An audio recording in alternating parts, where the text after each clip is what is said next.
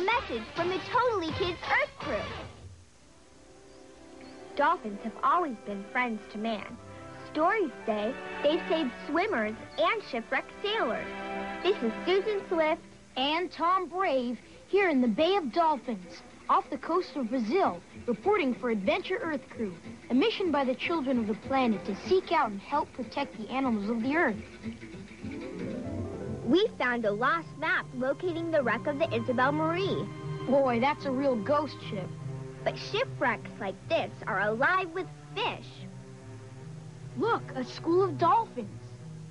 Of course, dolphins aren't fish. They're mammals like us. And very smart. They use a language of whistles and squeaks to talk to each other. Dolphins have even been able to communicate with people. We can learn a lot from dolphins.